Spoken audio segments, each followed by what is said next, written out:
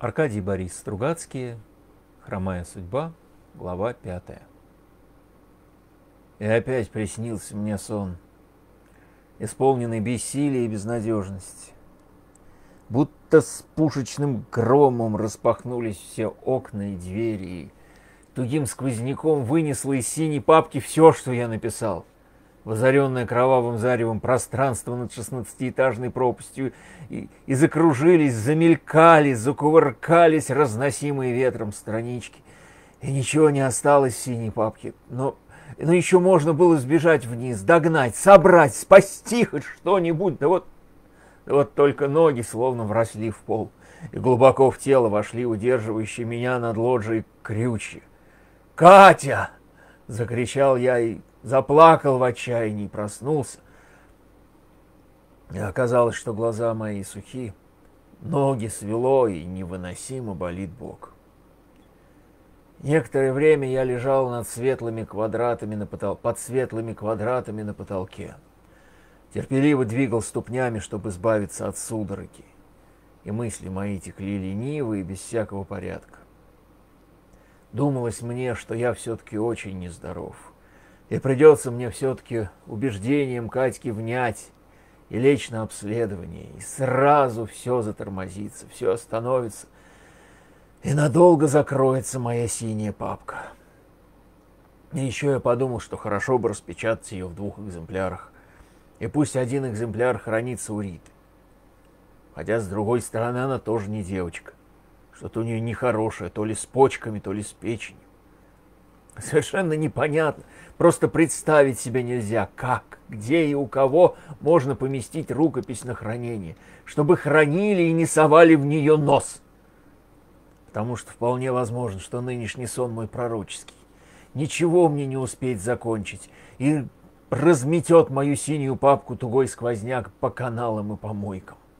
И листочка не останется, чтобы засунуть его в машину на предмет определения НКЧТ. И вот когда я вспомнил об НКЧТ, просто так вспомнил, к мысли пришлось по принципу иронии и жалости. Вот тогда словно сама собой появилась у меня догадка, ясная и сухая, как формула. Неценность произведения они там определяют.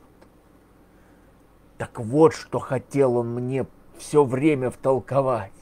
Невеселый мой вчерашний знакомец — наивероятнейшее количество читателей текста. Сюда же все входит. И тиражи сюда входят. И качество, и популярность, и талант писателя, и талант читателя, между прочим. И можешь ты написать гениальнейшую вещь, а машина выдаст тебе мизер, потому что никуда твоя гениальная вещь не пойдет. Прочтут ее разве что жена, близкие друзья, да хорошо знакомый редактор, на котором все и закончится. А, ты ж понимаешь, старик, ты, старик, пойми меня правильно. Умненькая машина, хитренькая. А я, дурак, потащил к ним свои рецензии. Мусор им свой потащил, мусорную свою корзину. Я сел, обхвативши колени руками. Вот что он имел в виду. Вот почему он мне, можно сказать, назначил следующее свидание. Сущное, сущное мое он имел в виду подлинное, чтобы твердо понял я, на каком я свете, и надо ли мне дальше горячиться, или же, подобно многим до меня, стоит бросить работать и начать вместо этого хорошо зарабатывать. И холодно мне стало от этих мыслей. Кожа пошла мурашками — и я натянул на плечи одеяло, и ужасно вдруг захотелось закурить. Страшненькая машина, жутенькая. И зачем только это им понадобилось? Конечно, знать будущее вековая мечта человечества, вроде ковра самолета или сапог скороходов. Цари, короли, императоры большие деньги за такое знание сулили. Но если подумать, то при одном непременном условии, чтобы будущее это было приятным. А неприятное будущее, кому его нужно знать? Вот прихожу я на банную с синей папкой, и говорит мне машина человечьим голосом. А дела твои, Феликс Электро Александрович, дерьмо. Три читателя у тебя будут, утрись. Ох. Я отбросил одеяло и стал нашаривать ногами тапочками. Тапочки. А ведь не идти на банную теперь тоже нельзя. Должен же я знать. Зачем? Зачем мне это знать, что вся работа моя, жизнь моя, по сути дела, коту под хвост? Но с другой стороны, а почему ж так обязательно коту под хвост? А если и так, то что это означает? Коту под хвост. Не сам ли я мечтаю отдать на хранение синюю папку, так, чтобы не залез в нее потный любопытный нос Брыжейкина или Гагашкина? А, впрочем, потный любопытный нос — это все-таки нечто иное. Брыжейкин Гагашкиным, а читатель читателем. Все же я, черт возьми, не рукоблудием занимаюсь. Я для людей пишу, а не для самоуслаждения. Конечно, с самого начала я готов был к тому, что синюю папку при моей жизни не напечатают. Обычное дело, не я первый, не я последний. Но мысль о том, что она просто сгниет, на пропасть пойдет, растворится во времени без следа. Нет, к этому я не готов. Глупо, согласен, согласен, но не готов. Потому и страшно. Я умывался, приводил в порядок постель, готовил завтрак, занятый этими мыслями. Было всего половина седьмого, но все равно я не мог бы теперь ни спать, ни даже просто лежать. Меня просто-таки трясло от нервного возбуждения, от желания что-нибудь немедленно сделать или хотя бы решить. Это ж надо. Это ж надо же, до чего нас убедили, будто в рукописи не горят. Горят они. Да еще как горят, прям-таки синим пламенем. Гадать страшно, сколько их, наверное, сгинуло, не объявившись. Не хочу я для своего творения такой судьбы. И узнать о такой судьбе не хотелось бы, если она такая. Ах, не зря. Не зря обиняками вчера говорил мой невеселый знакомец. Мог бы ведь и прямо сказать, что к чему. Но рассудил, что ежели не догадаюсь я сам, то Бог убогому простит. А уж если догадаюсь, тогда деваться мне будет некуда. Приду и принесу, и узнаю. И нечувствительно оказалось, что сижу я за своим столом, и синяя папка распахнулась передо мной, и пальцы мои сами собой берут листок за листком и бережно перекладывают справа налево — оглаживают, выравнивают объемистую же стопочку. И ужасно горько мне стало, что вчера поздно вечером дочитал я последнюю написанную строчку.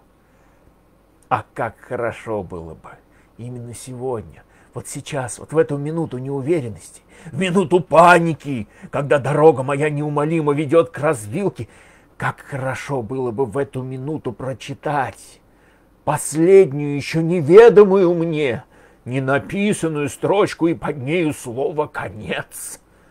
Тогда я мог бы сказать сейчас с легкой душой, все это, государи мои, философия, а вот полюбуйтесь-ка на это, и покачал бы синюю папку на растопыренной пятерне. И так нестерпимо захотелось мне приблизить хоть немного этот далекий момент, что я торопливо раскрыл машинку, заправил чистый лист бумаги и напечатал. Часть вторая. Следователь. Я уже давно знал, что вторая часть будет называться «Следователь». И я очень неплохо представлял себе, что происходит там в первых двух главах этой части. И потому мне понадобилось всего каких-нибудь полчаса, чтобы на бумаге появилось. Но Андрея вдруг разболела, заболела голова. Он с отвращением раздавил в переполненной пепельнице окурок, выдвинул средний ящик стола и заглянул, нет ли там каких-нибудь пилюль. Пилюль не было. Поверх старых перемешанных бумаг лежал там черный армейский пистолет. По углам прятал, прятался пыльный табачный мусор, валялись обтрепанные картонные коробки с канцелярской мелочью, огрызки карандашей, несколько сломанных сигарет. От всего этого головная боль только усилилась. Андрей с треском задвинул ящик, подпер голову руками так, что ладони прикрывали глаза — и сквозь щелки между пальцами стал смотреть на Питера Блока. Питер Блок по прозвищу Копчик сидел в отдалении на табуретке, смиренно сложив на костлявых коленях красные лапки и равнодушно мигал, время от времени облизываясь. Голова у него явно не болела, но зато ему, видимо, хотелось пить. И курить тоже. Андрей с усилием оторвал ладони от лица, налил себе из графина тепловатой воды и, преодолев легкий спазм, выпил полстакана. Я снял руки с клавиши и почесал подбородок. Ну, обычное дело. Когда я пытаюсь взять эту мою работу приступом, на голом энтузиазме все застопоривается. Следующие полчаса я только вставил от руки слово «скрепки» и добавил «Питер Блок облизнулся». Нет, серьезную работу делают не так. Серьезную работу делают, ну, например, в «Мурашах», в Доме творчества. Предварительно надо собраться с духом, полностью отрешиться от всего суетного и прочно отрезать себе все пути к отступлению. Ты должен твердо знать, что путевка на полный срок оплачена, и деньги эти ни под каким видом не будут тебе возвращены. И никакого вдохновения, только ежедневный рабский, механический до изнеможения труд, как машина, как лошадь. Пять страниц до обеда — Две страницы перед ужином. Никаких бдений, никакого трепа, никаких свиданий, никаких заседаний и никаких телефонных звонков, никаких скандалов и юбилеев. Семь страниц в день. А после ужина можешь посидеть в бильярдной, вяло переговариваясь со знакомыми и полузнакомыми братьями-литераторами. И если ты будешь тверд, если ты не будешь, упаси Бог, жалеть себя и восклицать Имею же я, черт подери, право хоть раз в неделю, то ты вернешься через 26 суток домой, как удачливый охотник, без рук и без ног от усталости, но веселый и с набитым ягташем. А ведь я даже и, не придумал еще, что же у меня будет в моем ягташе. Ровно в 8.30 раздался телефонный звонок. Но это не был Леня Шипст. Непонятно, кто это был. Трубка дышала, трубка внимательно слушала мои раздраженные «Алло, кто говорит? Нажмите кнопку!» А потом пошли короткие гудки. Я бросил трубку, с отвращением выдернул из машинки, из машинки початый лист, сунул его в папку под самый низ и закрыл машинку. Светало, на дворе опять разыгралась пурга. Снова ощутил я острую боль в боку и прилег. Все-таки я холерик. Ведь вот только что трясся от возбуждений. Казалось мне, что нет ничего важнее на свете, чем моя синяя папка и ее судьба в веках. А теперь вот лежу, как раздавленная лягушка. И ничего-то вечного мне не надо, кроме покоя. Бог болел, и небывалая слабость навалилась на меня. И жалость к себе пронзила и вспомнила помнил я. Безвольно сдался воспоминанию, как сдаются обмороку, когда нет больше сил терпеть. Она жила в квартире номер 19. Занимала там крошечную комнатушку, бог знает на каких правах. Училась на первом курсе политехнического, и было ей около 19. И звали ее Катя а фамилии ее Ф. Сорокин не знал и никогда не узнает. Во всяком случае, в этой жизни. Ф. Сорокину исполнилось тогда 15. Он перешел в девятый класс и был пареньком рослым и красивым, хотя уши у него были изрядно оттопырены. На уроках физкультуры он в шеренге стоял третьим, после Володи Правдюка, убит в 43-м, и Володи Цингера, ныне большой чин в авиационной промышленности. Катя, когда он познакомился с нею, была одного с ним роста. А когда разлучила их разлучительница всех союзов, Катя была уже на полголовы ниже его. Эв Сорокин несколько раз встречал ее еще до знакомства. либо на лестнице, либо у Анастасии Андреевны. Ну, ничего мужского и личного она в нем тогда не возбуждала. Он был тогда сопляком и фофаном, этот рослый и красивый парень, Нев Сорокин. Дистанция между студенткой и школьником представлялась неимоверной. Тягостное и безрезультатное перещупывание с Люси Неверовской. Ныне адмиральская вдова, пенсионерка и, кажется, уже прабабушка. Воздвигала непреодолимую баррикаду между его вожделениями и всеми женскими особами в мире.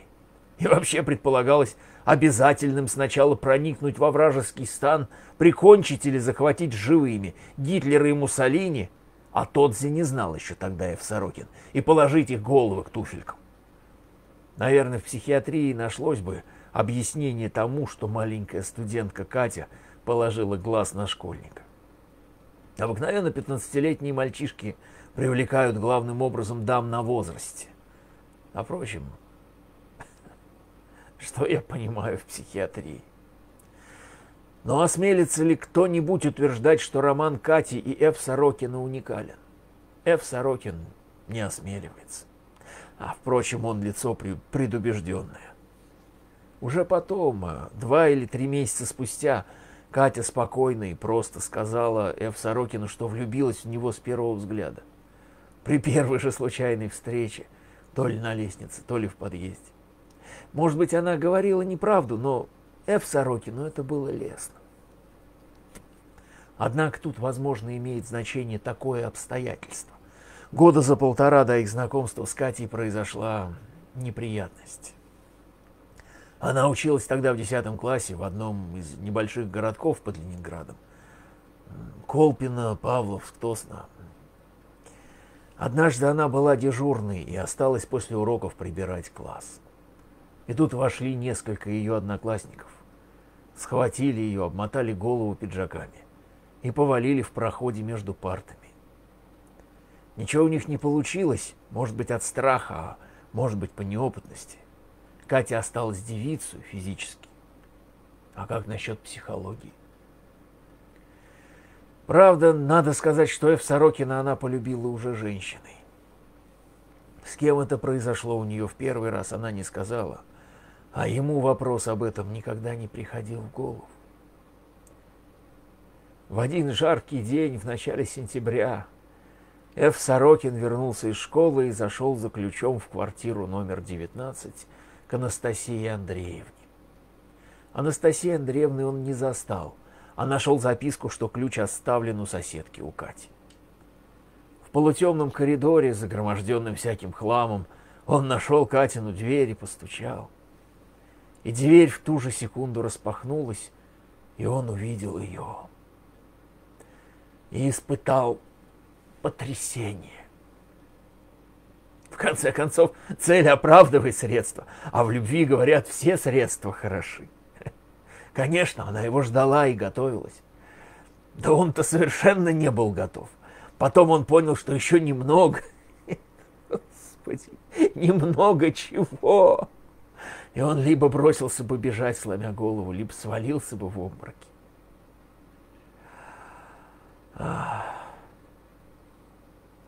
Я поднялся, кряхтя и постановая, полез под диван и из самого дальнего темного угла достал окурок, о котором помнил весь этот год. Я пошел с ним на кухню и закурил, стоя у окна. И мельком удивился, что табачный дым не оказывает мне никакого действия. Словно не дым я вдыхаю, а теплый пахучий воздух.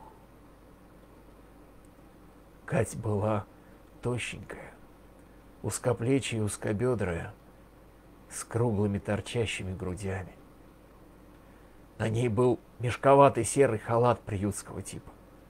Она молча взяла Сорокина за руку и ввела в свою комнатушку, а потом вернулась к двери и тихонько, но плотно затворила ее и щелкнула задвижкой, а потом повернулась к Эф Сорокину и стала глядеть на него, опустив руки. Халат на ней был распахнут, а под халатом у нее была голая кожа. Но Эф Сорокин увидел сначала, что она красная, от лба до груди, а потом уже все остальное. Ну и зрелище для половозрелого сопляка, который до того видел голых женщин только на репродукциях Рубинса. А нет, впрочем, еще на порнографических карточках. Их ему показывал Борька Кутузов. Разорван на куски снарядом в августе 41-го. Они встречались, если не каждый день, то все же достаточно регулярно. Точно в назначенный день и в условленный час, минута в минуту. Ф. Сорокин бесшумными скачками поднимался к дверям квартиры номер 19. Обычно это было днем, часа в три или четыре, сразу после возвращения из школы. Конечно, он не звонил и не стучал. Дверь открывалась. Катя в своем приютском халатике на голое тело хватала его за руку, уводила в свою комнатушку, и они запирались там и насыщались друг другом жадно и торопливо. И минут через двадцать Эф Сорокин, бесшумный, осторожный, как индеец на военной тропе, вышмыгивал в полутемный коридор, привычно нащупывал барабанчик французского замка и оказывался на лестничной площадке. Говорили они немного и только шепотом. И за всю однообразную, но невероятно насыщенную историю этой любви им ни разу не привелось побыть друг с другом более получаса подряд. А история была действительно невероятно насыщенной. Для Эв Сорокина, несомненно. Однако, наверное, и для Кати тоже. Спускаясь по лестнице из квартиры номер 19, Эв Сорокин уже начинал тосковать. Через день-другой тоска сменялась напряженным нетерпением. Наступало назначенное время, и все у него внутри тряслось от лихорадочной радости и от растущего страха, что встреча вдруг не состоится. А бывали такие случаи. И вот встреча, а затем снова тоска, нетерпение, радость и страх, и снова встреча. И так неделя за неделей, осень, зима, весна и, наконец, проклятое лето 1941-го. И ни разу Эв Сорокин не ощутил усталости от Кати. Ни разу не захотелось ему перед встречей, чтобы встречи этой не было.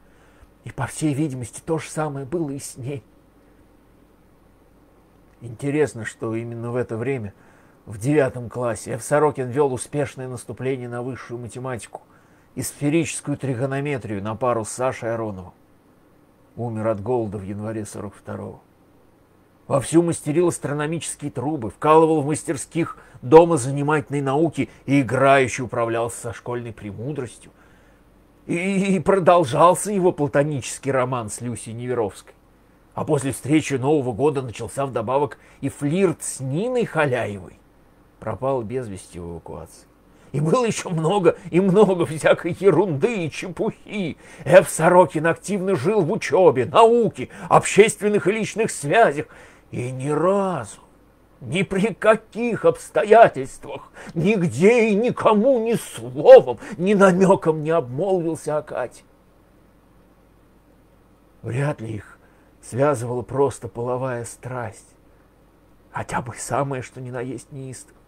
Такое не могло бы тянуться столь долго и при этом сопровождаться беспрестанно приступами тоски, радости и страха. Вряд ли это было и любовью романтического толка, о которой писали великие. Было там и от того, и от другого. Была там, вероятно, мальчишеская гордость обладания настоящей женщиной и благодарная нежность девочки к мужчине, который не обижает и не выпендривается. А еще было, наверное, предчувствие. В последний раз они встречались в конце мая, в начале экзаменов.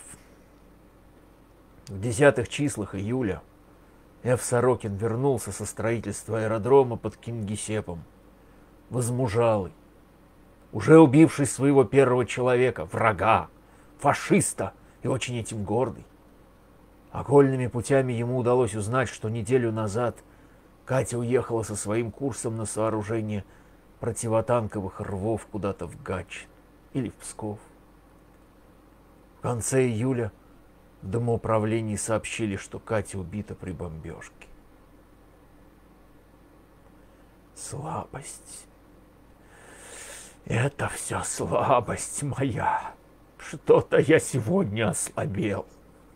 Но почему я всегда так упорно запрещаю себе вспоминать это имя? Да, да, Катя. Катя. Но только имя. Потому что я больше никогда не любил. Было у Эф Сорокина с тех пор множество баб. Две или три женщины. И не было ни одной любви. Телефонный звонок раздался, и я потащился обратно в кабинет. Это звонила Рита. Наконец, и вовремя. Она только что вернулась из своей тьму таракани и желала пообщаться с интеллигентным человеком из литературного мира. Голос у нее был чистый, веселый и здоровый, и это было прекрасно. И мне захотелось немедленно с ней увидеться. Я спросил, как она сегодня. И она ответила, что сегодня она у себя в конторе проторчит до обеда, а в обед можно будет ей рвануть когти. Я возликовал, и мы тут же совместно выковали план, как мы встретимся у меня в клубе в 15.00 и сольемся там в гастрономическом экстазе. Для начала, сказал я деловито. Там видно будет, ответила она еще более деловито. Разговор этот, как и следовало ожидать, коренным образом изменил мой взгляд на окружающую действительность. Окружение из враждебного сделалось дружелюбным, а действительность утратила мрачность и обрела все мыслимые оттенки розового и голубого. О, вот и на дворе стало значительно светлее, и злая метель обратилась в легкий, чуть ли не праздничный снегопад.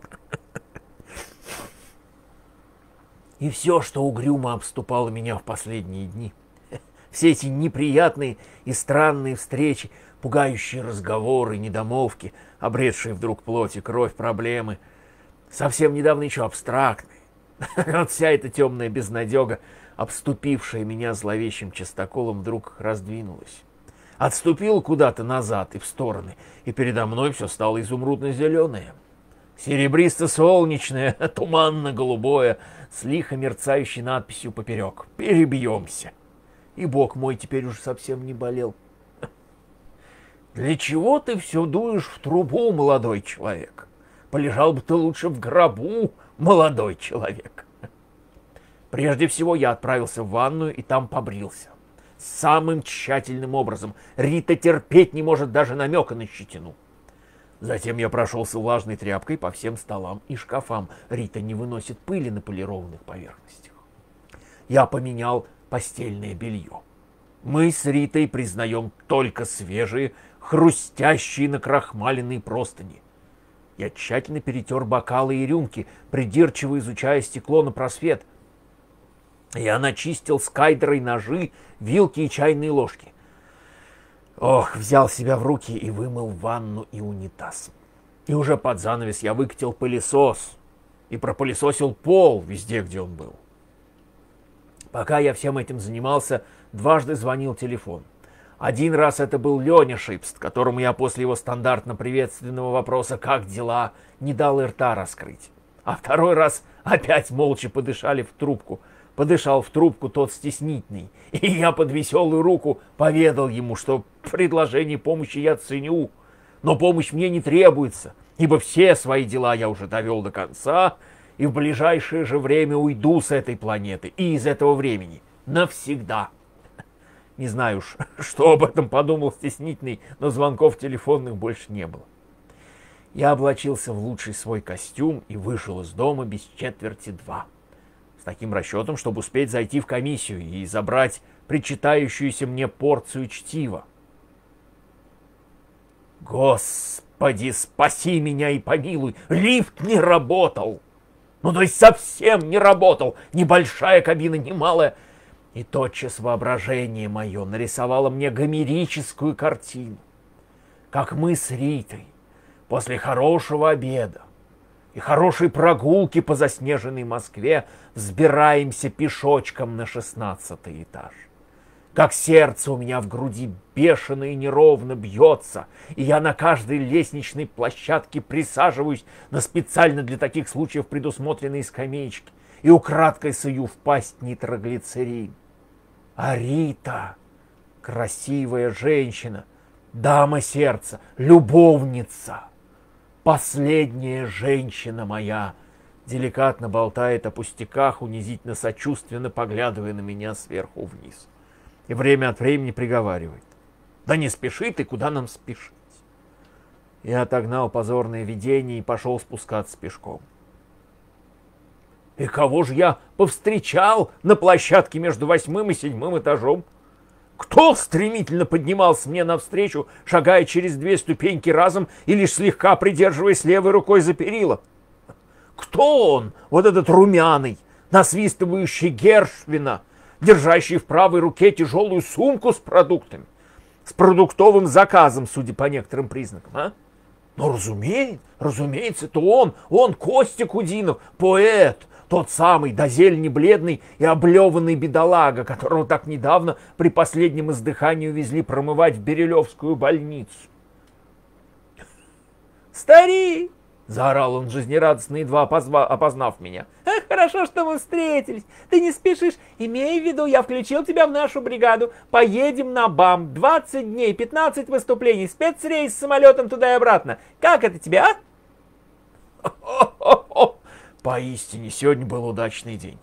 Это может показаться странным, но я, пожилой, замкнутый и, в общем-то, избегающий новых знакомств человек, консерватор и седун, я люблю публичные выступления. Мне, мне нравится стоять перед набитым залом, видеть разом тысячу физиономий, объединенных выражением интереса. Интереса, интереса жадного, интереса изумленного, интереса скептического, Интереса насмешливо, но всегда интереса. Мне нравится шокировать их нашими цеховыми тайнами, раскрывать им секреты редакционной издательской кухни, безжалостно разрушать иллюзии таких засальных стереотипов, как вдохновение, зарение, божьи искры. Мне нравится отвечать на записки, высмеивать дураков тонко чтобы никакая Гишу, будь она окажется в зале, не могла бы придраться. Нравится ходить по лезвию бритвы, лавируя между тем, что я на самом деле думаю, и тем, что мне думать по общему мнению полагается. А потом, когда выступление уже позади, нравится мне стоять внизу, в зале, в окружении истинных поклонников и ценителей, надписывать зачитанные до дряхлости книжки современных сказок и вести разговор уже на равных, без дураков, крепко даже ожесточения спорить, все время испытывая восхитительное чувство защищенности от грубого выпада и от бестактной резкости, когда не страшно совершить ложный шаг, когда даже явная глупость, произнесенная тобой, великодушно пропускается мимо ушей. Но особенно я люблю все это не в Москве и не в других столицах, административных, научных и промышленных, а в местах отдаленных, где-нибудь на границе цивилизации, где все эти инженеры, техники, операторы, все эти вчерашние студенты изголодались по культуре, по Европе, просто по интеллигентному разговору. И я, конечно, дал Косте согласие. Выяснил у него, когда отлет, то еще включен в бригаду, и где нас будут инструктировать, и уже протянул ему руку для прощания. Но он вдруг взял меня за большой палец щепотью, хитро прищурился и как-то кокетливо пропел. «А ты у нас рисковый мужик, Феликс Александрович. Ловко это у тебя получилось, но не думаешь ли ты, что тебе это припомнят, а? Во благовремени, а?» Он кокетливо щурился и покачивал в воздухе мою обмякшую руку. А я ощутил, что все внутри у меня – съеживается от дурного предчувствия. Наверное, дело было прежде всего в том, что произнес он эти слова, что произнес эти слова именно Костя. Не знаю. Но я сразу подумал, что не кончилась еще глупейшая история с этим. Как он там? С Мафусалином этим чертом. Ничего не кончилось. Что с того, что я начисто забыл про соглядатая в клетчатом пальто перевертыша? Они-то про меня не забыли.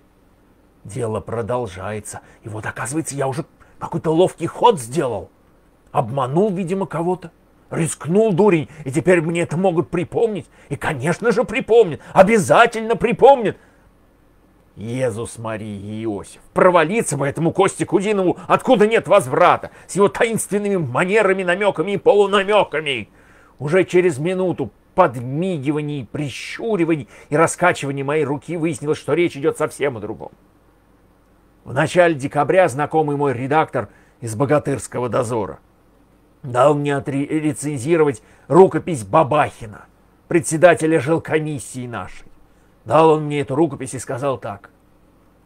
Врежь ты ему по соплям и ничего не боись. Рецензия внутренняя, а главный наш от этого Бабахина уже в прединфаркте. Повесть действительно была чудовищная, и я врезал по соплям с наслаждением. А под самый Новый год Бабахина с громом и лязгом поперли из председателей. Не за то, конечно, поперли, что пишет он повести, способные довести до прединфаркта даже такого закаленного человека, как главный богатырского дозора. Нет, поперли его за то, что ел он хлеб беззакония и пил вино хищения. И вот теперь этот идиот, этот поэт Костя Кудинов, вообразился, будто я все это предвидел заранее. И рискнул выступить против Бабахина аж в начале декабря, когда все еще могло повернуться и так, и эдак. И более того, этот идиот Костя Кудинов считал мою рецензию поступком безрассудным, хоть и героическим, ибо полагал, не без оснований, впрочем, что бабахины не умирают, что они всегда возвращаются и никогда и ничего не забывают. Ха. Кому в наше время приятно попасть под подозрение в безрассудном геройстве? Ну, я только снисходительно похлопал Костю по плечу и дал ему понять, что все это комариная плешь, и при моих связях никакие бабахины мне не страшны. На лице его при этом явственно проступило размышление на тему, а нельзя ли по возможности немедленно извлечь что-нибудь полезное для себя из знакомства с такой значительной и благорасположенной к нему персоной. И это каким-то не совсем понятным образом подвигло вдруг меня на прямой вопрос – «Послушай-ка», — сказал я, — «а что это ты угрожал мне давеча в больнице? Что там у тебя, собственно, произошло?» Признаюсь, я не люблю прямых вопросов. Не ставить, не слышать. На прямые вопросы обычно следуют до отвращения уклончивые ответы. И всех вокруг начинает тошнить. Да и прямые ответы, как правило, тоже не сахар. Однако же тайна страшного Ивана Давыдовича — и Костиного змеиного шуршания. О себе подумай, Сорокин. Раньше только раздражавшая меня наподобие некой душевной заусеницы, сейчас вдруг потребовала немедленного и полного разъяснения. Что же мне в самом деле теперь каждый раз трепетать с Кудиновым встречаясь? «Ну что ж ты прикажешь?» — сказал я, раздражаясь. «Каждый раз, понимаешь, теперь с тобой... Каждый раз, понимаешь, трепетать с тобой встречаясь? Нет ж, изволь объясниться!» И точно так же, как тогда в больнице, Костя заметался взглядом, явно не зная, куда его приткнуть в безопасное место. И снова принялся он лепетать, бормотать, экать и мекать. Однако ж на этот раз выглядел он не столько испуганным, сколько смущенным, будто поймали его за тайным разглядыванием специфического заграничного журнальчика. И хотя был он достаточно невнятен, все же я уловил в его бормотании и меканье некую вполне связанную и вполне грязноватую историю про какие-то редкие медикаменты, без рецептов, сам понимаешь. Тесть двоюродного брата, ну ты ж понимаешь, старик, но все же родня, неудобно. Не-не-не, никакой головщины, что ты, что ты. Но ты ж его напугал до этого, как там. Я сам виноват, ну и ты пойми меня про. Знаешь, как это, кому охота объяснить, ну и так далее. Я слушал его испытывая одновременно и некую брезгливость, и явное облегчение. Всего-то навсего. Господи! Но ведь из разочарование тоже. Всего-то навсего. А я-то... И когда ситуация, как мне показалось, прояснилась полностью, и я прервал его излияние, не стараясь скрыть ни брезгливости своей, ни облегчения, ни разочарования. И это все «Старик!» — скричал он, вовсе не разобравшись в моих интонациях. «Дедуля, клянусь честью, а ты-то что подумал? А ну признайся, ведь черт ты что подумал, а?» Не стал я ему ни в чем признаваться. Повернулся к нему спиной и пошелся вниз по лестнице. А подумал я уж который раз, что жизнь наша, что бы ни говорили нам об этом энтузиасты, по сути своей вполне обыкновенно и незагадочно. И слава богу, если серьезно. И что нет, видимо, ничего такого в мире, друг Горацио, о чем так сладко болтается вечерком нашим кухонным мудрецам. И что прав, надо полагать, мой герой, когда брюзжит, нет никакого бермудского треугольника – есть треугольник АБЦ, который равен треугольнику А', Б', С'. И даже не равен, а конгруентен. Так теперь надо говорить. Всего-то навсего обделывал свои тихие делишки тесть Шурина свекра сестры. А я-то намудрил, я-то насочинял воображение свое. Собственно, ничего я пока еще не насочинял, но был близок. Тут уж никуда не денешься. Близок я был. И и уже мерещилось мне, что мафусалин этот дефицитный есть не что иное, как мой эликсир жизни, живая моя вода из каменной пещеры. И мерещились мне уже мои бессмертные. И совсем уж было вообразил я, что начал присуществляться мой старый сюжет, и возникали вдруг из небытия придуманные мной персонажи. И вот все кончилось вялым анекдотом, в который уже раз. Не, позвольте, подумал я, а клетчатое пальто что же? Тайный соглядатай мой, агент 007, клетчатая моя тень в металлических очках. Неужели же я просто подстегнул его... Э... Ой-ой-ой. А, опять слово выпало. Неужели же я просто подстегнул его к бытию своим переживаниям? Как все мы делаем это с приметами, озарениями и тайными голосами – позабывши, какая чертова уйма в Москве клетчатых пальто и металлических оправ. И ведь не обошлось без клетчатого пальто. Напомнило таки оно себе еще раз, хотя и вовсе неожиданным образом. Выйдя из метро на Кропоткинской, я увидел рядом с табачным киоском это величайшее достижение 20 века. Красно-желтый фургон спецмедслужбы. Задние дверцы его были распахнуты настежь и двое милиционеров ввергали в ее недра клетчатое пальто-перевертыш. Ввергаемое пальто отбрыкивалось задними ногами, а может и не отбрыкивалось, а отчилось отыскать под собой опору. Лица я не видел, я вообще больше ничего не видел, если не считать очков. Металлическая оправа от очков. Ее деловито пронес мимо меня, держа двумя пальцами, третий милиционер, тут же скрывшийся за фургоном. Затем дверцы захлопнулись, Машина выпустила из себя кубометр гнусного запаха и медленно укатила. Вот и все приключение. И спросить не у кого, что здесь произошло. Потому что миновали времена, когда такого рода инциденты собирали зрителей. И я пошел своей дорогой.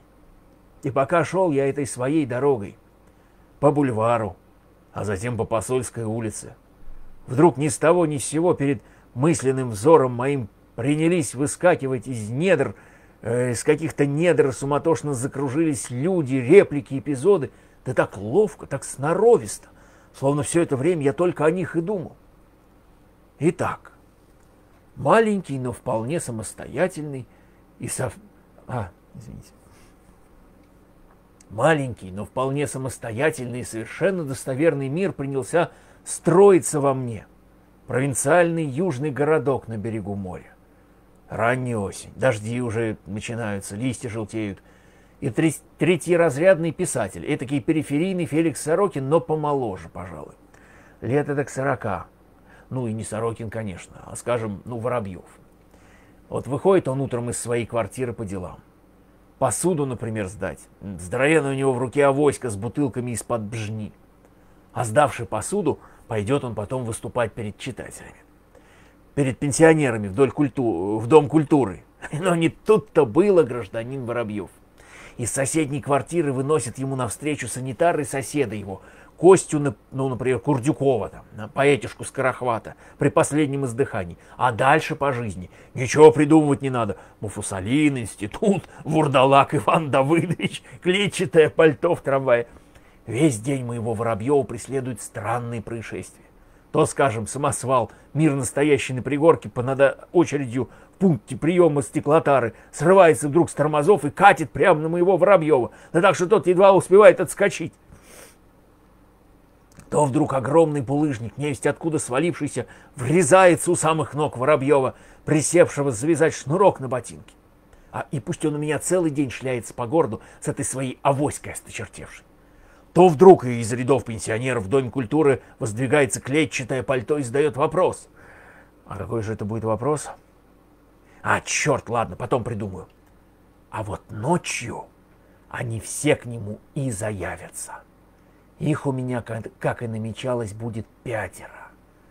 Паршивых и гадких. Пятеро древних гишу, пятеро гнойных прыщей, каждый в своем роде.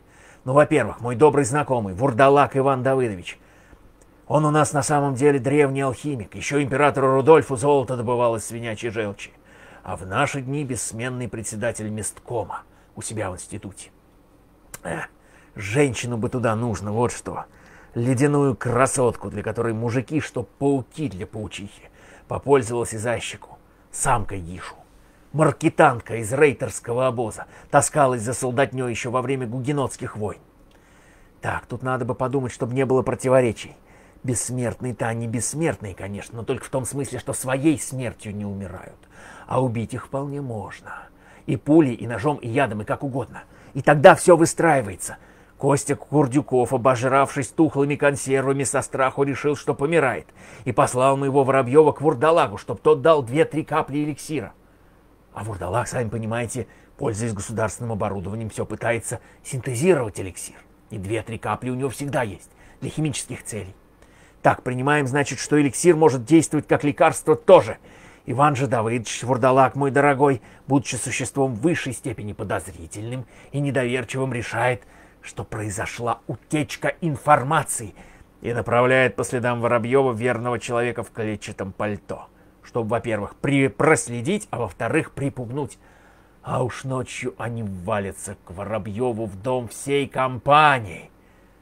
Не жалкие свифтовские струльбруги, маразматики полудохлые, а жуткие древние гишу. Без чести, без совести, без жалости, энергичные, свирепые, готовые на все. Вот тут-то ночью все и начнется. Вот самое лакомое, конечно, это ночное толковище. Пиршество бессмертных. Это у меня. Это у меня может получиться. Это у меня должно получиться. А черт подери, это у меня получится. Нет, государи мои, у хорошего хозяина даром ничего не пропадает. Все в дело идет. И клетчатые пальто загадочные, и свирепые председатели месткомов, и даже давно забытые наметки в рабочем дневнике десятилетней давности. Чрезвычайно довольный собой и своими перспективами, я вступил в клуб, как и предполагал, в три без четверти. У входа дежурила на этот раз не подслеповатая Марья Тимофеевна, а молодая еще пенсионерка, которая работает-то у нас без году неделя, а уже всех знает, во всяком случае меня. Мы раскланялись, я предупредил ее, что жду даму, разделся и побрел наверх в приемную комиссию. Зинаида Филипповна черноглазая и белолицая, как всегда очень занятая и очень озабоченная, указала мне на шкаф, где на трех полках отдельными кучками лежали сочинения претендентов. О, подумать только. Всего-то их восемь, а уже напечатали такую уйму. «Я вам отобрала, Феликс Александрович?» Произнесла Зинаида Филипповна, рассеянно мне улыбаясь. «Вы ведь э, военно-патриотическую тему предпочитаете? Вон крайняя стопка «Хлобуев некто». Я вам уже записала». Ох. Жалок и тосклив был вид стопки, воплотивший в себя дух и мысль неведомого, неведомого мне Холобуева. Три тощеньких номера прапорщика с аккуратненькими хвостиками бумажных закладок и одинокая тощенькая же книжечка северно-сибирского издательства. Повесть под названием «Стережом неба». «И кто же это тебя, Холобуев, рекомендовал?» – подумал я. «Кто же это опрометчивый отдал тебя нам на съедение с твоими тремя рассказиками и одной повестушечкой?» О, да и не повестушечка это даже, а так, слегка билетризированный отчерк из жизни ракетчиков или летчиков. Да ты же, Холобуев, на один зуб будешь нашим лейб-гвардейцем, если, конечно, не заручился уже их благорасположением. Но даже если ты и заручился, Холобуев, на пол зуба тебя не хватит нашим специалистам по истории куртуазной литературы Франции XVIII века. Но уж если Холобуев исхитрился и ты у них благорасположение снискать, тогда честь тебе, Холобуев, и хвала. Тогда далеко ты у нас пойдешь, и очень может быть, что через пяток лет будем мы все толпиться у твоего порога, выклянчивая право на аренду дачи в Подмосковье. Со вздохом взял я Хлобуева под мышку и, вежливо попрощавшись с Зинаидой Филипповной, направился прямо в ресторан. И случилось так, что хотя народу в ресторане по дневному времени было не очень много, но удобный столик свободный оказался только один. И когда я уселся, то за столиком справа от меня оказался Витя Кошельков, знаменитейший наш юморист, и автор множества скетчей при галстуке бабочкой и при газете Morning Star, которую он и читал с неприступным видом над чашечкой кофе. А за столиком слева щебетали, непрерывно жуя, две неопределенного возраста дамы, вполне, впрочем, на вид аппетитные. А за столиком прямо передо мной Аполлон Аполлоныч Владимирский угощал какую-то из своих многочисленных внучатых, может, даже уже и правнучатых родственниц обедом шампанским. Он заметил меня, и мы раскланялись. Он был все такой же, каким я впервые увидел его почти четверть века назад. Маленькая, совершенно лысая, как воздушный шарик, голова на длинной складчатой шее игуаны. Огромные черные глаза, сплошной зрачок без радужки, распущенный рот и беспорядочно клацающие искусственные челюсти, как бы живущие самостоятельной жизнью, и плавные движения дирижера — и резкий высокий голос человека, равнодушного к мнению окружающих. И старомодный начало века, наверное, костюмчик с коротковатыми рукавами, из-под которых выползали ослепительные манжеты. Мне он казался пришельцем из невообразимо далекого, хрестоматийного прошлого. Невозможно было представить себе, что энергичные, задорные, бодрящие песни, которые певали, да и сейчас еще поют, на демонстрациях и студенческих вечеринках со времен коллективизации написано на стихи этого реликта. Я сидел одним глазом, поглядывая на раскрытого на середине Холобуева, а другим на двери в холл, откуда пора было уже появиться Рите. А Аполлон Аполлоныч, покровительственно наблюдая, как молоденькая родственница управляется с бифштексом и поминутно элегантными щелчками загоняя в рукав непослушную манжету, исполнял под аккомпанемент беспорядочно клацающих челюстей очередной свой устный мемуар. Этих мемуаров за истекшие десятилетия я наслушался предостаточно, и поэтому сейчас лишь узловые моменты рассеянно отмечал мое привыкшее ухо. Вот Владимир Владимирович и странные его отношения с Осей. Вот Борис Леонидович промелькнул, сказал что-то забавное и сменился тут же Александром Александровичем, совсем уже больным за день до кончины. А вот и Алексей Николаевич, конечно же, их сиятельство уехали на прием. Самуил Яковлевич, Корней Иванович. Вене появился у Алексея Максимовича, совсем молодой и очень заносчивый. А Исаак Эммануилович вступил на последнюю свою короткую дорогу. А как придет время уколы делать, так представь себе, душа моя, все писатели в рассыпную и в лес – а сестры со шприцами наготове за ними. И только Миша грустно так стоит у больничного окна и говорит, бывало, побежали в лес по ягодице. Константин Сергеевич, ох, заберут вас когда-нибудь в ГУМ, Владимир Иванович. Александр Сергеевич, тут я вздрогнул. Виссарион Григорьевич с сыном своим Иосифом. Я посмотрел на Аполлона Аполлоныча. Он был неиссякаем. Родственница, впрочем, оставалась к этому уникальному потоку информации вполне равнодушной. Я не исключал, конечно, что она, как и я, слышала все это далеко не впервые. И тут Аполлон Аполлоныч сказал весело. «А, вот и Михаил Афанасьевич собственной персоной, команд Сова, Мишель!» Я взглянул. В одну зимнюю ночь сорок первого года когда я во время воздушной тревоги возвращался домой из гранатных мастерских, бомба попала в деревянный дом у меня за спиной. Меня подняло в воздух, плавно перенесло через железные пики садовой ограды и аккуратно положило на обе лопатки в глубокий сугроб. И я лежал лицом к черному небу и с тупым изумлением глядел, как медленно и важно, подобно кораблям, проплывают надо мною горящие бревна. И вот с таким же тупым изумлением глядел я теперь, как со стороны холла наискосок через ресторан идет Михаил Афанасьевич. Мой невеселый вчерашний знакомец, только без синего лабораторного халата, а в остальном в точности такой же, и даже в том же синем костюме.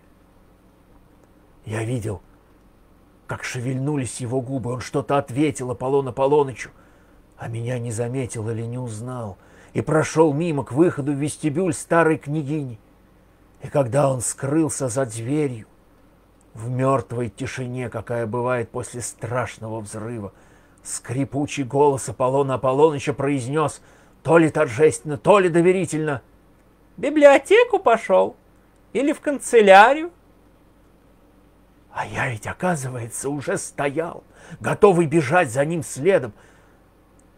Были ли у меня к нему вопросы? Да, были, конечно. Хотел ли я спросить у него совета? Безусловно, разумеется. Все то, о чем догадался я сегодняшним горьким утром, поднялось во мне снова вдруг, как ядовитое варево в ведьмином горшке. И необходимо стало мне узнать, правильно ли я давеча понял, и если правильно, то что мне теперь с этим пониманием делать? Уже только ради этого стоило бежать за ним. Но это, не, не это было главное. Я осознал вдруг, кто он, мой невеселый знакомец с банной. Какой он такой, Михаил Афанасьевич! Теперь это казалось мне столь же очевидным, сколь и невероятным. Эта встреча была достойным завершением моей бездарно-фантасмагорической недели, на протяжении которой тот, кому надлежит ведать моей судьбой, распустил передо мной целый веер возможностей, ни одну из которых я не сумел или не захотел осуществить, и все это прошло, как вода сквозь песок, не оставив ничего, кроме грязноватой пенки филистерского облегчения. Да еще вот разве что сюжетик простодушный образовался. И теперь вот последняя возможность, самая может быть невероятная. И пусть она ничего не обещает мне поверх моего привычного бутерброда с маслом, но если я ее, и сеч... я ее сейчас упущу, пожертвую ею ради солянки с маслинами или даже душистой моей Риты, тогда ничего у меня не останется, и незачем мне будет раскрывать мою синюю папку. Как во сне я услышал брюзгливое барственное бление. Или я великий русский писатель, или я буду есть эту лапшу. И как во сне, повернувши голову, увидел я над дымящейся тарелкой полное длинное лицо с брюзгливо отвисшей губой, сейчас же скрывшейся от меня за согбенной спиной официанта. И тут же, уже совершенно наяву, увидел я в дверях холла остановившуюся Риту в любимом моем песочного цвета костюме, и глаз уколол мне блеск сережки в ее ухе, когда она медленно поворачивала голову, отыскивая меня в зале.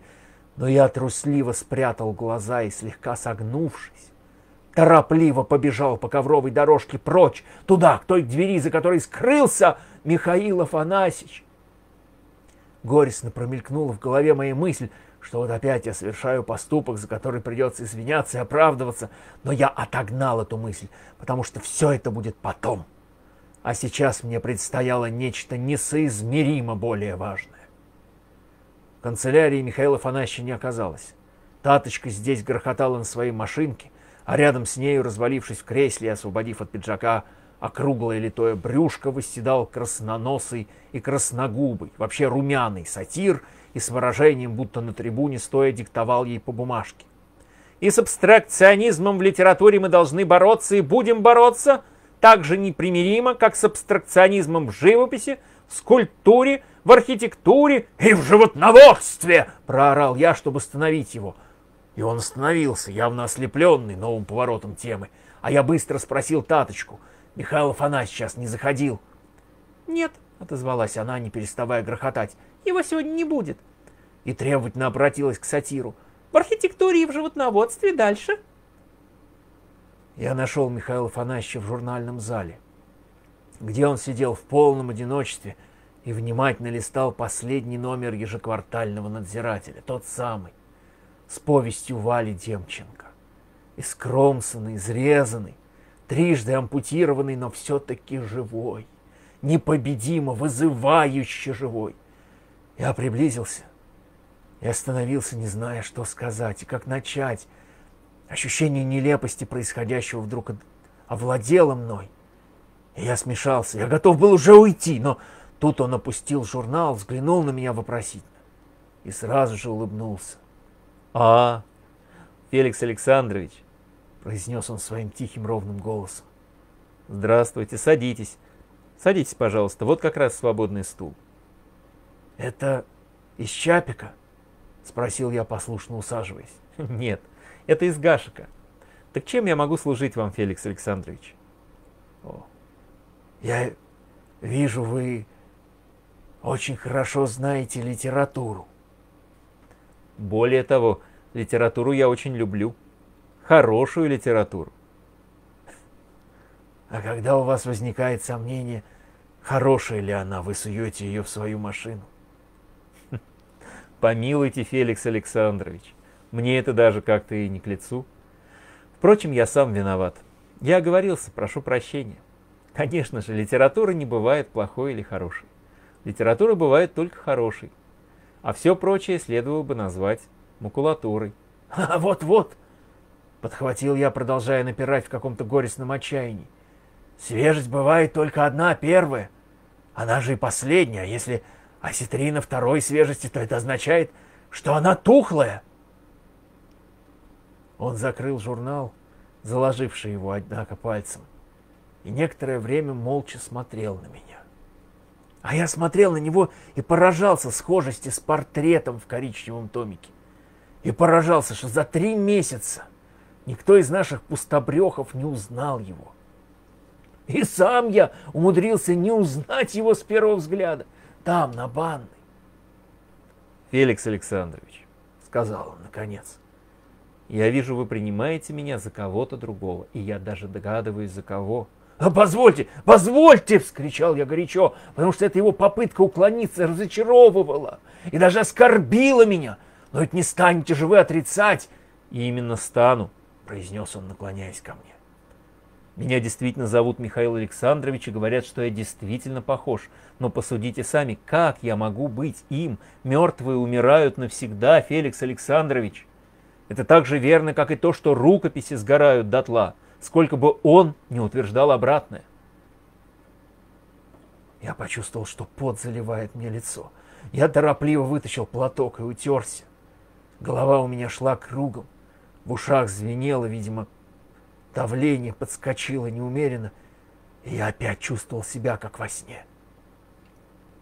«Однако давайте, наконец, приступим к вашему делу», — продолжал он и вынул палец из журнала, а журнал положил на диван рядом с собой. «Вы, как и следовало ожидать, совершенно правильно догадались, что машина моя определяет не абсолютную художественную ценность произведения — а всего лишь судьбу его в исторически обозримом времени.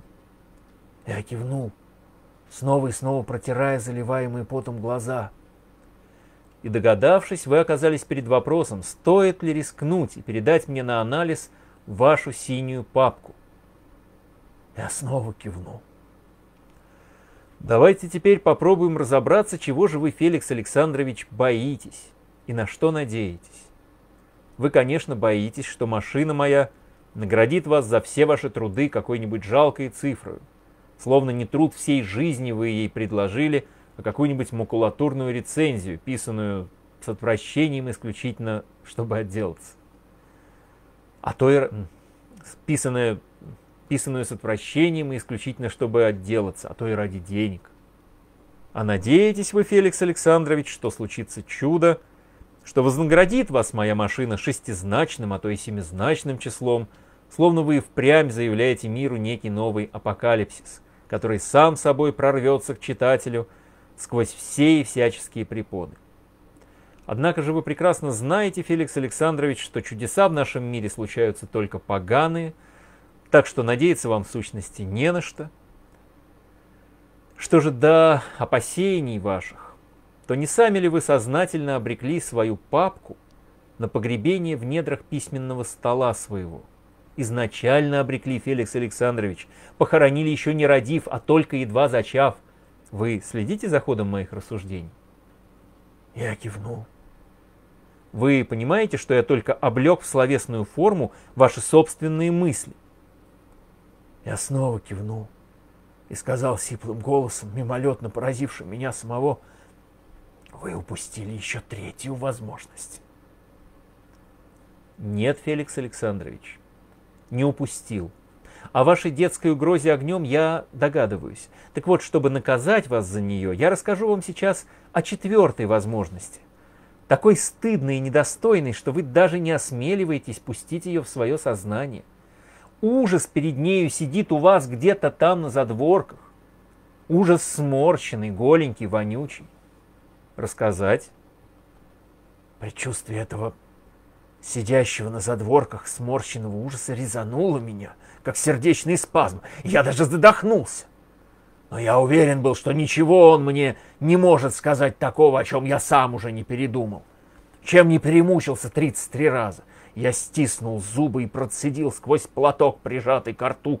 Любопытно было бы узнать. И он рассказал. Честью своей клянусь жизнью дочери моей Катьки, жизнью внуков. Не знал я заранее и представить себе не мог, что он мне расскажет обо мне самом. И это было особенно унизительно и срамно, потому что четвертая моя возможность была такой очевидной, такой пошлой, такой лежащей на поверхности. Любой нормальный человек назвал бы ее первой. Для Ойла союзного она вообще единственная, и других он не ведает. Только такие, как я, занесшиеся без всякой видимой причины, надутые спесью до того, что уже и надутости это и не ощущают, не весь что вообразившие о себе, о писанине своей и о мире, который собой осчастливливают, только такие, как я, способны упрятать эту возможность от себя так глубоко, что сами о ней не подозревают. Ну как в самом деле я, Феликс Александрович Сорокин, создатель незабвенного романа «Товарищи офицеры», как я мог представить себе, что проклятая машина на банной может выбросить на свои экраны не семизначное признание моих Сорокина заслуг перед мировой культурой, и не гордую одинокую троечку, свидетельствующую о том, что мировая культура еще не созрела, чтобы принять свое лоно, содержимое синей моей папки. А может выбросить машина на свои экраны крепенькие, кругленькие 30 тысяч экземпляров, означающие, что синюю папочку благополучно приняли, благополучно вставили в план – и выскочила она из печатных машин, чтобы осесть на полках районных библиотек рядом с прочей макулатурой. Не оставив по себе ни следов, ни памяти, похороненная не в почетном саркофаге письменного стола, а в покоробленных обложках из уцененного картона. «Простите меня», — закончил он с сочувствием в голосе. Но я не мог оставить в стороне эту возможность, даже если бы не хотел слегка наказать вас. Я молча кивнул в который раз. Воистину, демон неба сломал мне рога гордыни. Что же касается вашей угрозы сжечь синюю папку и забыть о ней, продолжал Михаил Афанасьевич, то я, признаться, назвал ее угрозу детской лишь в некоторой запальчивости. И на самом деле угроза эта мне кажется серьезной и весьма серьезной. Но, Феликс Александрович, вся многотысячелетняя история литературы не знает случая, что когда автор сжег бы своими руками свое любимое, любимое детище. Да, жгли, но жгли лишь то, что вызывало отвращение и раздражение, и стыд у них самих. А ведь вы, Феликс Александрович, свою синюю папку любите. Вы живете в ней, вы живете для нее. Ну как вы позволите себе сжечь такое только потому, что не знаете его будущего? Он был прав, конечно. Все это была кислая болтовня насчет сжигания, забвения. Да и как бы я стал ее жечь при паровом-то отоплении? Я нервно хихикнул. Может быть, потому и печатается у нас столько барахла, что исчезли по городам печки. Михаил Афанасьевич тоже засмеялся, но тут же стал серьезным.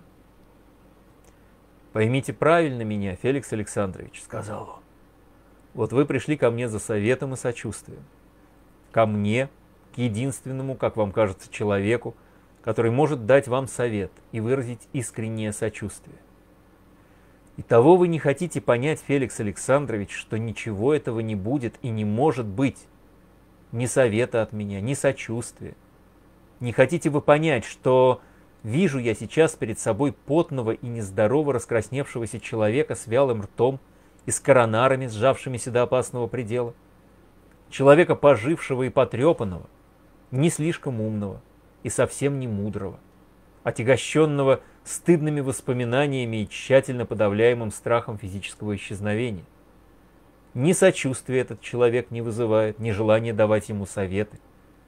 Да и с какой стати? Поймите, Феликс Александрович, нет мне никакого дела ни до ваших внутренних борений, ни до вашего душевного смятения, ни до вашего, простите меня, самолюбования. Единственное, что меня интересует, это ваша синяя папка, чтобы роман ваш был написан и закончен. А как вы это сделаете? Какой ценой? Я не литературовед и не биограф ваш. Это право же мне не интересно. Разумеется, людям свойственно ожидать награды за свои труды и за муки. И, в общем-то, это справедливо, но есть исключения. Не бывает и не может быть награды за муку творческую. Мука эта сама заключает в себе награду. Поэтому, Феликс Александрович, не ждите вы для себя ни света, ни, пока, ни покоя. Никогда не будет вам ни покоя, ни света. И наступила тишина. Словно бы я оглох.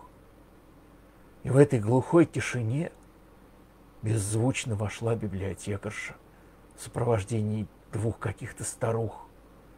И они, беззвучно переговариваясь, подошли к шкафу, беззвучно раскрыли его, принялись беззвучно выкладывать на стол и листать какие-то пропыленные подшивки.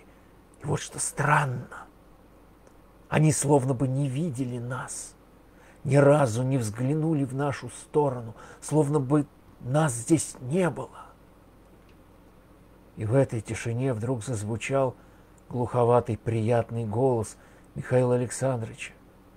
Он не говорил и не рассказывал а именно читал вслух из невидимой книги. «Ну вот, Андрей», — произнес с некоторой торжественностью голос наставника, — «первый круг вами пройден». Лампа под зеленым фарфоровым абажуром была включена, и на столе в круге света лежала свежая газета с большой передовой под, на... под названием «Пятую пятилетку досрочно». Гудел и бормотал приемник на этажерке за спиной. Мама на кухне побрякивала посудой и разговаривала с соседкой. Пахло жареной рыбой. Во дворе колодца под окном вопили и галдели ребятишки, шла игра в прятки. Из раскрытой форточки тянуло влажным оттепельным воздухом. Еще минуту назад все это было совсем не таким, как сейчас, гораздо более обыденным и привычным. Оно было без будущего, вернее, отдельно от будущего. Андрей бесцельно разгладил газету и сказал. «Первый? А почему первый?» «Потому что их еще много впереди», — произнес голос наставника. Тогда Андрей, стараясь не смотреть в ту сторону, откуда доносился голос, поднялся и прислонился плечом к шкафу у окна. Черный колодец двора, слабо освещенный желтыми прямоугольниками окон, был под ним и над ним, и далеко наверху, в совсем уже потемневшем небе, горела вега. Совершенно невозможно было покинуть все это снова, И совершенно еще более невозможно было остаться среди всего этого. Теперь, после всего. «Изя! Изя!» – пронзительно прокричал женский голос в колодце. «Изя, иди уже ужинать! Дети, вы не видели Изю?» И детские голоса внизу закричали. «Иська, Кацман, иди тебя матка зовет!» Андрей, весь напрягшись, сунулся лицом к самому стеклу, всматриваясь в темноту. Но он увидел только неразборчивые тени, шныряющие по мокрому черному дну колодца между громоздящимися поленницами дров. Михаил Афанасьевич замолчал, откинулся на спинку дивана и закрыл глаза. И вдруг я понял, откуда это он читал, и почему мне это кажется таким знакомым. И еще я понял, что между последними написанными мною словами Питер Блок облизнулся, и словами наставника «Ну вот, Андрей, первый круг вами пройден», лежат привычные пустыри ненаписанных строк. Сто, двести, а может быть и триста ненаписанных еще страниц. Но уж после того, как Андрей увидел только неразборчивые тени, шныряющие между поленницами дров, после этой строчки не будет ничего, кроме слова «конец» и, может быть, даты. Весь ресторан клуба видел, как известный писатель военно-патриотической темы Феликс Сорокин, рослый, несколько грузный, сереброголовый красавец с пышными черными усами, блестял урядским значком на лацкане пиджака. Свободно пройдя между столиками, подошел к красивой женщине в элегантном костюме песочного цвета и поцеловал ей руку. И весь ресторан услышал, как он, повернувшись к официанту Мише, произнес отчетливо «Мясо! Любого, но только не псины! Хватит с меня псины, Миша!» Половина зала пропустила эти странные слова мимо. Другая половина сочла их за неудачную шутку. Аполлон Аполлоныч, покачав черепашьей головкой, пробормотал. Стран, стран, когда это он успел? А Феликс, Алекс... а Феликс Сорокин и не думал шутить. И тем более надираться он отнюдь не собирался. Просто он был возмутительно, непристойно и неумело счастлив сейчас. И сам толком не знал, почему, собственно.